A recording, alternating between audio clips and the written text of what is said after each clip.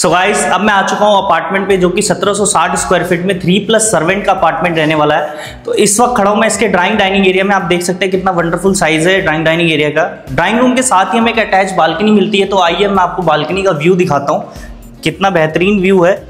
आप देख सकते हैं सामने बालकनी से हमें बिल्कुल प्रोजेक्ट का इंटरनल व्यू मिलता है। सामने क्लब हाउस है, स्विमिंग पूल है, और आप देख सकते हैं कि द्वारका एक्सप्रेस वे भी कितना क्लियर दिख रहा है, क्योंकि द्वारका एक्सप्रेस वे से ही इसकी अप्रोच रोड रहने वाली है, जैसे कि मैंने आपको बताया था। सामने कॉन्शेंट का कमर्शियल है। ये आप देख रहे हैं कंस्ट्रक्शन चल रही है, यहाँ पे भी बहुत ही बेहतरीन व्यू होने वाला है, क्योंकि ये ऐलान का प्रोजेक्ट आ रहा है यहाँ पर। तो आइए अब मैं आपको इसके फ़र्स्ट बेडरूम की तरफ़ लेकर चलता हूँ। फ़र्स्ट बेडरूम दिखाने से पहले मैं आपको इसका किचन दिखाता हूँ। तो आइए, ये हमारा किचन है। आप देख सकते हैं ये हमारा किचन का साइज़ देख सकते हैं आप, कितना बढ़िया साइज़ है। और इसके साथ ही हमें मिलती है एक यूटिलिटी बालकनी ये हमारी यूटिलिटी बालकनी है, जो कि सर्वेंट रूम से कनेक्टेड है। आप देख सकते हैं कि इस तरफ़ हमारी यूटिलिटी बालकनी आ जाती है और इसके इस तरफ़ ही यहाँ पर सर्वेंट रूम है। सर्वेंट रूम के साथ भी हमें अटैच वॉशरूम मिलता है। इसमें भी सारी सैनिटरी फिटिंग बिल्डर ने करा के दी है और ये हमारा सर्वेंट रूम है। आप देख सकते हैं। सर्वेंट रूम का भी साइज़ काफ़ी अच्छा है। और ये बिल्कुल मेन डोर है। यहाँ पे सीधा आप यहाँ से एग्जिट करेंगे तो सीधा लिफ्ट लॉबी में पहुँचेंगे। तो आइए, अब मैं आपको इसके फ़र्स्ट बेडरूम की तरफ़ लेकर चलता हूँ। फ़र्स्ट बेडरूम में हमारे बिल्डर ने वुडन फ्लोरिंग लगा कर दी फ़र्स्ट बेडरूम के साथ हमें अटैच बालकनी अटैच वॉशरूम मिलता है। तो आइए, अब मैं आपको इसकी बालकनी से व्यू दिखाता हूँ। कितना बेहतरीन व्यू रहने वाला है इस बालकनी से भी। और इस बालकनी से भी हमें बिल्कुल सेम प्रोजेक्ट का इंटरनल व्यू मिलता है। सामने क्लब हाउस देख लिया आपने स्विमिंग पूल देख लिया।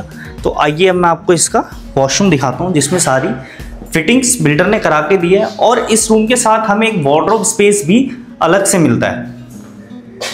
तो ये हमारा वॉशरूम है। तो आइए मैं आपको इसके सेकंड बेडरूम की तरफ़ लेकर चलता हूँ। तो गाइज़ ये हमारा सेकंड बेडरूम है। इसमें हमें बिल्डर ने वुडन फ्लोरिंग करा कर दी है। इसके साथ हमें अटैच वॉशरूम मिलता है। वॉशरूम में भी सारी सैनिटरी फिटिंग हो रखी है। कितने बढ़िया सैनिटरी फिटिंग्स बिल्डर ने करके दिए हैं। इसके साथ हमें विंडो मिलती है वेंटिलेशन के लिए, जिसका साइज़ बहुत ही बेहतरीन है। तो फाइनली अब हम आ गए हैं इसके मास्टर बेडरूम में। ये हमारा मास्टर बेडरूम रहने वाला। इसके साथ हमें अटैच बालकनी अटैच वॉशरूम और ड्रेसिंग एरिया अलग से मिलता है। तो आइए मैं आपको पहले बालकनी का व्यू दिखाता हूँ। इस बालकनी से भी बिल्कुल हमें सेम इंटरनल व्यू मिलता है, जैसे कि आपने देखा था।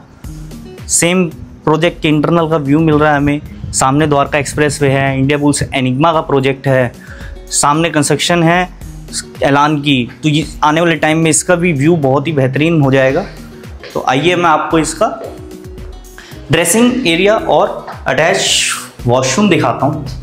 तो ये हमारा ड्रेसिंग एरिया है। इस वक्त मैं इसके ड्रेसिंग एरिया पर खड़ा हूँ।